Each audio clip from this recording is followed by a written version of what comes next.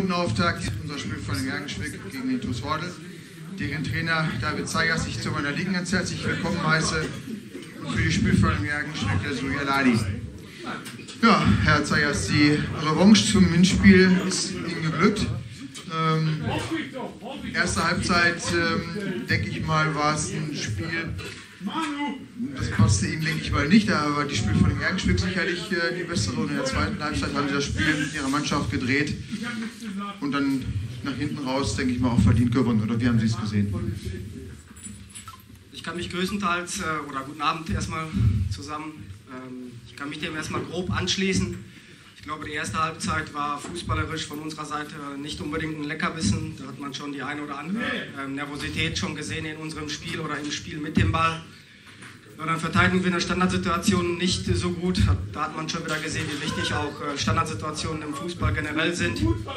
Gehen dann auch meiner Meinung nach verdient mit 0-1 in, äh, in, Rückstand, ähm, haben dann halt durch einen Fehler von Erkenschwick die Möglichkeit, äh, trotzdem den Ausgleich zu erzielen, was wir dann halt nicht geschafft haben.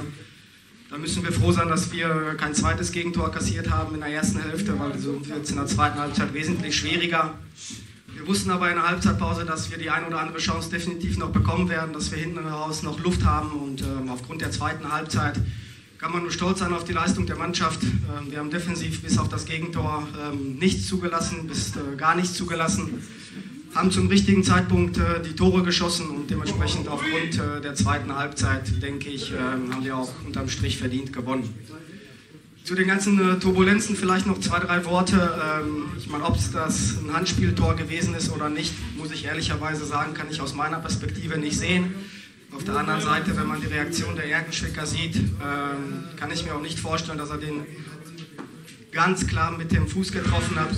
Nichtsdestotrotz, wenn mein Spieler von dem Schiedsrichter gefragt wird ähm, und er antwortet dann mit dem Korrekten, dann muss ich davon ausgehen, dass er sich dann so fairplaymäßig verhält und auch die Wahrheit sagt. Ich glaube, es waren unterm Strich so viele Nicklichkeiten auch nach dem Spiel. Da können sich die Erkenschwicker und wir als Mannschaft nicht von außen äh, vorlassen. Da hat jeder seinen Teil dazu, dazu beigetragen. Und ich glaube, das wäre jetzt äh, zu lang, wenn wir das alles ins, ins Detail diskutieren würden. Vielen Dank.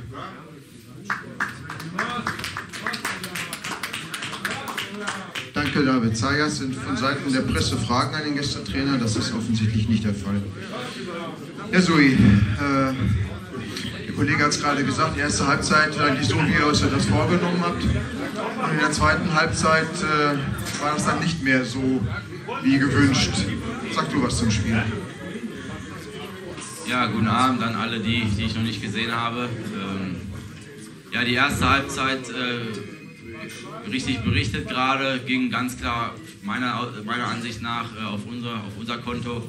Ich glaube, äh, wir müssen da unbedingt, und das ist sowieso schon immer unser Problem gewesen, das zweite Tor vielleicht auch mit ein bisschen mehr Biss das dritte Tor machen.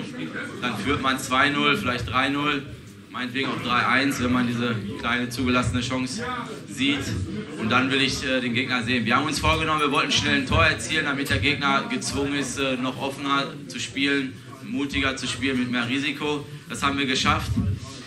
Lief auch alles sehr, sehr gut. Auch in der zweiten Halbzeit, die ersten 10, 15 Minuten, da bin ich mit zufrieden gewesen. Da war auch noch alles, äh, ich sag mal, in unserer Kontrolle.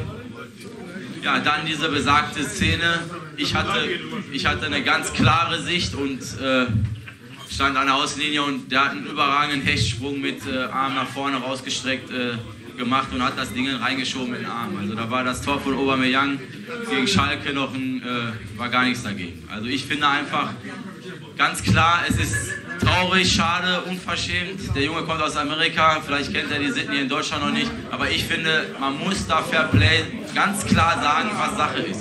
Und das gehört hier nicht hin einfach. So kippt das Spiel. Ist doch scheißegal. So, so, so kippt das Spiel. Nichtsdestotrotz, dann, nichtsdestotrotz, dann muss ich sagen, dass meine Mannschaft den Faden verloren hat. Wir sind irgendwie nicht mehr richtig ins Spiel gekommen. Wir haben uns vielleicht auch zu viel mit Kleinigkeiten beschäftigt, äh, ablenken lassen.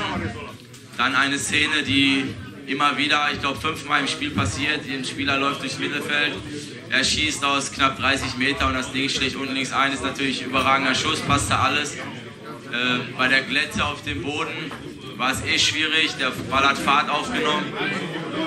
beim dritten Tor möchte ich, äh, dass wir nicht zu hart mit Ritwan Aftisch äh, sind. Er hat uns schon oft genug äh, gerettet und Punkte geholt und von daher äh, müssen wir auch das akzeptieren. Also von, ich, mir bleibt nichts anderes übrig, als den Gegner zu gratulieren zu den drei Punkten. Trotzdem mit einem ganz, ganz bitteren Beigeschmack. Aber ähm, ja, mir tut es einfach leid für die Zuschauer jetzt Hause.